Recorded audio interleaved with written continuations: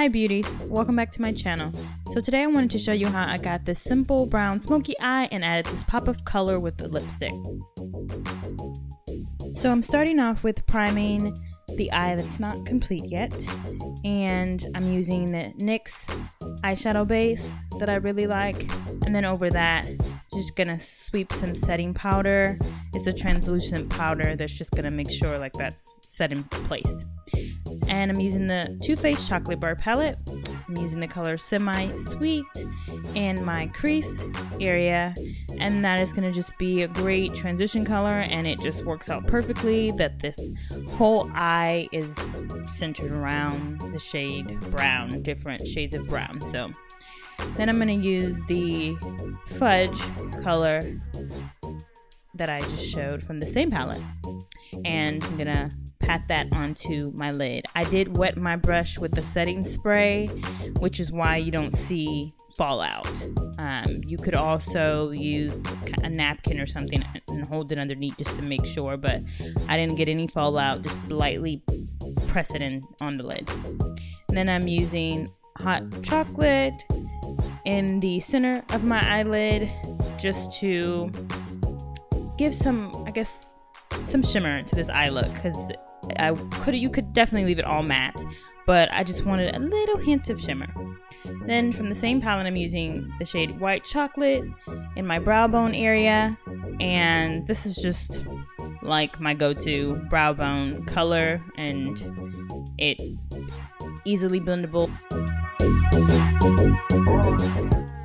Okay, I'm gonna use the same deep dark brown from my lid and kind of just sweep that across my lower lash line. And once again, I applied setting spray to this brush, which is why you don't see fallout. And then I'm going in with just a regular black eyeliner pencil by NYX, I believe.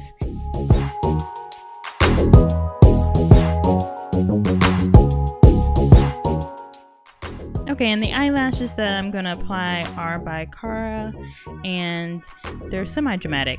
They'll add even more flair to the eye look. And I'm going ahead and applying this nice shimmer gold shade by Wet n Wild. It's a eyeliner pencil in gold. And then I'm going to go ahead and open up my eyes as much as possible with my mascara and this is actually a Wet n Wild mascara. Um, it's a volumizing mascara. I'll list the products in the description box. Okay, and now moving on to my face. I've already applied the Maybelline Fit Me matte formula of the foundation, and I really, really like that foundation. And so now I'm just gonna go in and do some highlighting and contouring, of course, and then um, I'm actually gonna go in and kind of illuminate as well today. So, um, and I have a new product to show you guys. But once we get to that section, I'll speak about it. Um, just blending, blending, blending.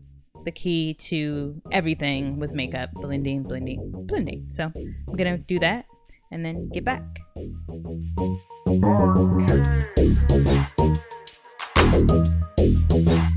And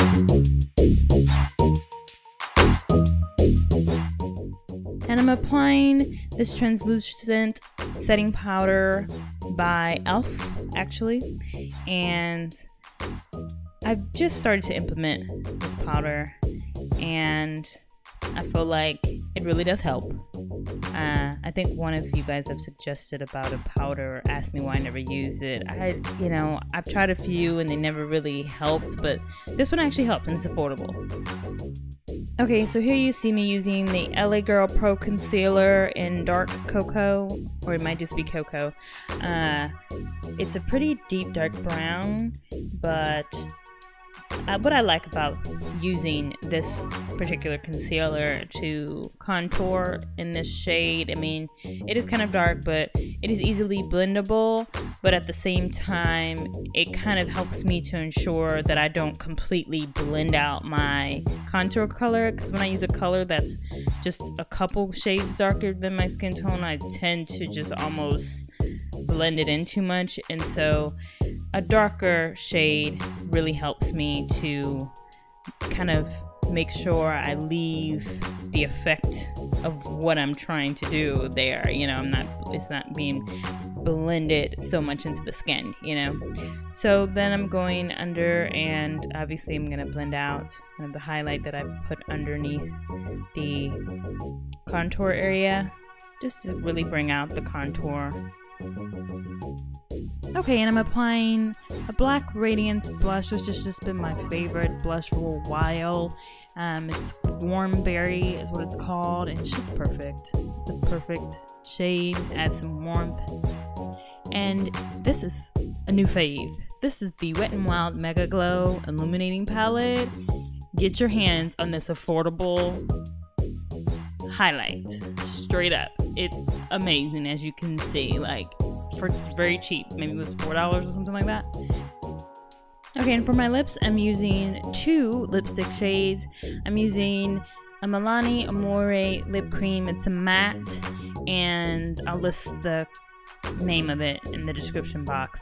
But it's kind of bright, and so to kind of tone that down and make this a little shade darker of a pink, I'm using I think it's Mochalicious by Wet n Wild. It's like a brown. It's really kind of like a mocha color, and just kind of laying that on top of the matte and just toning that pink shade down. But that's the completed look, guys. I hope you guys enjoyed this. Please don't forget to thumbs up. See you in the next one. Bye.